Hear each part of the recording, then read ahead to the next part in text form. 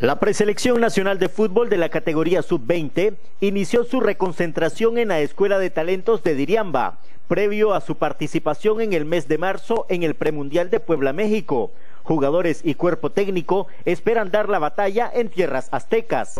Con ganas y deseos de seguir trabajando para lograr el objetivo que ya logramos, ahora necesitamos terminarlo y seguir adelante cada día, dando el máximo en cada entreno para lograr lo que se espera. Eh, una aventura muy bonita que es el premundial en México.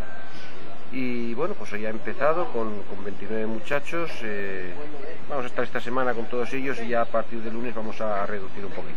No, espero lo que lo que esperamos todos pues eh, hacer un buen papel en México ir a competir e intentar conseguir una de las cuatro plazas que dan acceso a, al mundial. Es muy difícil tenemos dos, los dos primeros partidos, la primera fase con Cuba y Canadá, y después, pues bueno, nos puede tocar Estados Unidos o Costa Rica. Bueno, veremos a ver, vamos a ir paso a paso. Entre los nuevos elementos de la azul y blanco se encuentran el volante de contención del Ferretti, Marco Zambrana, y el volante mixto, Guillermo Padilla, inscrito actualmente en el Berliner SC de la sexta división del fútbol alemán. vengo a aportar mi granito de arena y la verdad lo que pueden esperar es que yo voy a dar todo para ganar mi puesto y para demostrar que esta selección sí puede salir adelante y esperemos que todo salga bien y que los resultados se nos den además del juego y que presentemos un buen papel en México.